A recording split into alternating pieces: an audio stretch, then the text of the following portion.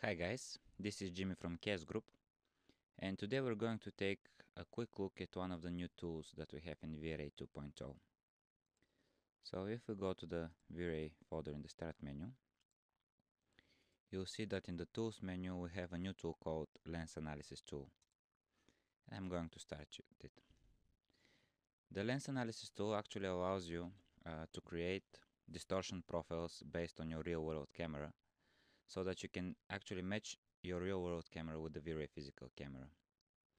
And the workflow is pretty straightforward and it is described step by step in our help file, but I just want to give you an outline how you will work with this tool. So the first thing you're going to need to do is actually print a test chart and to do this you'll go to the ana analysis menu here and select the print test chart you will be given option to select the aspect ratio of your camera and you will save a file and print it. The thing that you will print will look something like this. It's going to be just a simple grid and you'll have to attach this grid somewhere and take several uh, shoot photos of it. Again, the procedure is described along with best practices in our website on the help files so that uh, you'll be given advice how to do this correctly. When you do this, you should create images that will look something like this, several photos of this grid. And the next step will be to go back uh, to the lens analysis tool and cl then click on this button which says add photos. I'll select all these images and click open. Now V-Ray will, uh, the, lens, the lens analysis tool will use these images to actually create your distortion pattern and to do this you have to click the analyze button. The tool will take several seconds to analyze the images and then you'll click OK.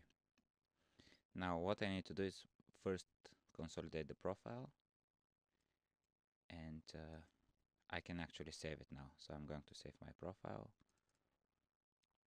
Now what I can do from here is I have two options. First of all I can go in max and uh, now I'm rendering with the V-Ray physical camera so I can see the settings of the physical camera here. And you see that we have several distortion types. I'm just going to use the quadratic distortion first and render out an image so that you can see we have no distortion at all. And now I'm going to switch to lens file and select the lens file that I just generated and render again. Now you can immediately see the distortion that we created. And it's the actual distortion of our real world camera. So uh, this is pretty useful for camera matching. And for those of you who need to match their cameras regularly. Another thing that I can do is I can use the tool again and uh, correct or distort some images.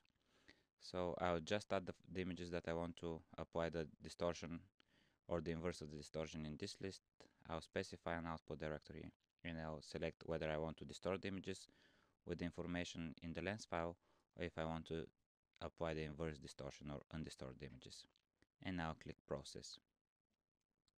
So as you can see, this tool is pretty useful for those of you who are going to deal with a lot of camera matching and it will really make your life easier and um, make it easy for you to create uh, and to render images with this correct distortion, with the distortion of your real world cameras. Uh, this concludes this presentation. I'm Dimitar Krastev Jimmy and I thank you for watching.